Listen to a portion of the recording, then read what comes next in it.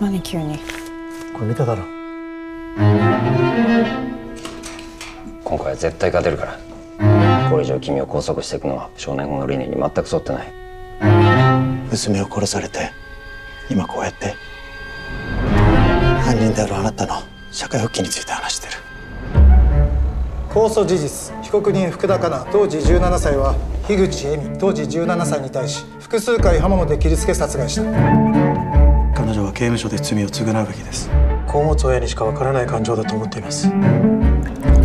私のした行いは無極残忍な行いでした。間違った正義のために二人の人生を台無しにするようなことがあってよいのでしょうか。その質問については。正直にお答えください。あの弁護士に洗脳されてんだよ。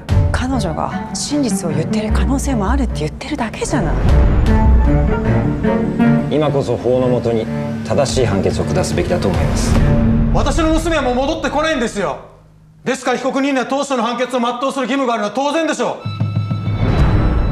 私もう耐えられそうな。い僕たちはうまくやってたんですよ。あんたがこんなことに巻き込むまでは。